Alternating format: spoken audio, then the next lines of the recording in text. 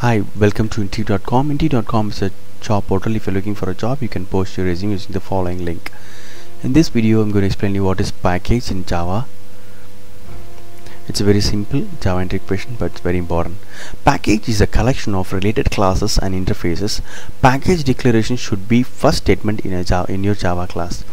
Packages are used in Java in order to prevent please remember naming conflicts to control access to make searching and locating and usage of classes.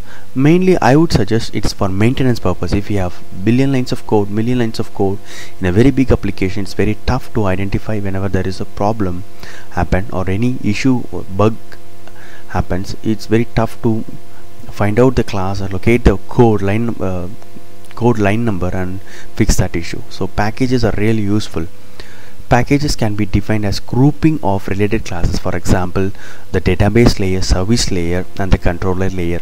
There are and there are other layers like um, for tracing okay logging and tracing security.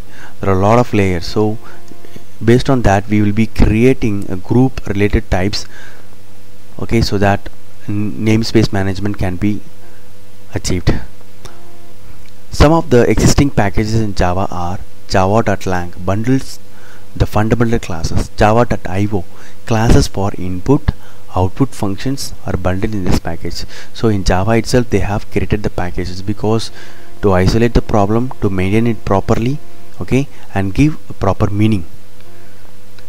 Programmers can define their own package to bundle group of classes interfaces etc it's a good practice to group related classes implemented by you so that programmer can easily determine that classes interface enumerations annotations are related okay? So db layer service layer control layer logging and tracing audit trailing security okay transaction. So the, we can model we can create packages based on the layer and it will be really useful for um, isolating the problem and fixing the problem and it's easy for maintenance. So just giving a picture of how the java packages looks like. These are the this is the how the package looks like. And here you can see I've created package 2 and package 3 and how the different classes are placed in a different package. So that for example uh, one one department in US working in this in this module and other uh, other um, other team in China they're working in a different module. So it will be really useful for integration. So package